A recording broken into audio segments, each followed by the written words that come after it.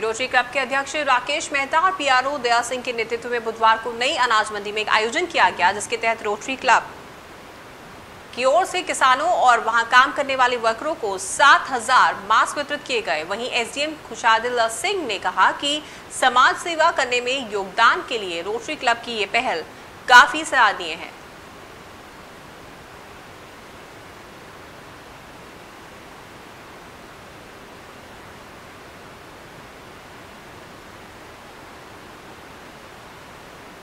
Rotary club की तरफ़ से मास्क वितरण का आयोजन किया गया। किसानों वर्करों को 7000 मास्क यहाँ पर वितरित किए गए, जिस तरीके से कोरोना काल चल रहा है।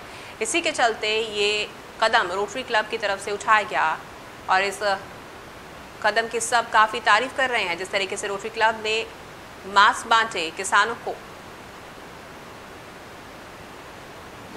ਰੋਟਰੀ ਕਲੱਬ ਵੱਲੋਂ ਅੱਜ ਇੱਕ ਪ੍ਰੋਗਰਾਮ ਰੱਖਿਆ ਗਿਆ ਸੀ।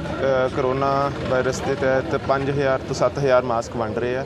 ਕਿਉਂਕਿ ਮੰਡੀ ਦੇ ਵਿੱਚ ਪੈਡੀ ਸੀਜ਼ਨ ਆ, ਇੱਥੇ ਅਲੱਗ-ਅਲੱਗ ਤਰ੍ਹਾਂ ਦੇ ਲੇਬਰਰਸ ਆਉਂਦੇ ਆ। ਤਾਂ ਇਹ ਬਹੁਤ ਜ਼ਿਆਦਾ ਇੱਕ ਪੁਆਇੰਟ ਆ, ਜਿੱਥੇ ਆਪਣਾ ਵਾਇਰਸ ਸਪਰੈਡ ਹੋ ਸਕਦਾ ਤਾਂ ਇਹਨਾਂ ਨੇ ਬਹੁਤ ਹੀ ਵਧੀਆ ਉਪਰਾਲਾ ਕੀਤਾ ਕਿ ਇਹਨਾਂ ਨੇ ਮਾਸਕ ਵੰਡੇ। ਬਾਕੀ ਪ੍ਰਸ਼ਾਸਨ ਵੱਲੋਂ ਕਿਸੇ ਵੀ ਤਰ੍ਹਾਂ ਦੀ ਕੋਈ ਹੈਲਪ ਚਾਹੀਦੀ ਹੁੰਦੀ ਹੈ ਮੰਡੀ ਦੇ ਵਿੱਚ ਤਾਂ ਕਦੋਂ ਵੀ ਤੁਸੀਂ?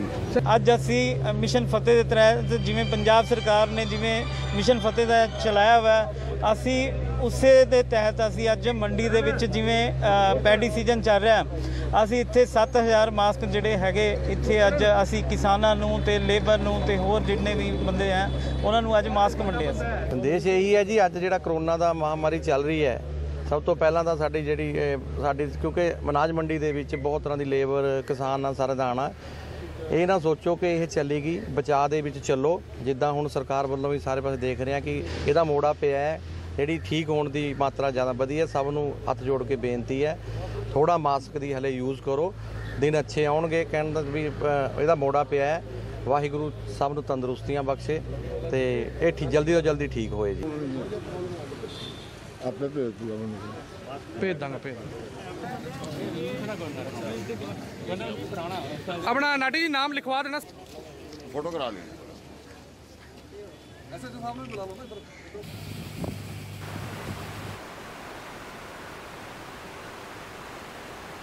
तो यहाँ पर रोटरी क्लब की तरफ़ से मास्क बांटे गए। किसानों और वर्करों को यहाँ पर मास्क वितरित किए गए। उनकी तरफ़ से उठाए गए इस कदम की काफ़ी तारीफ़ की गई।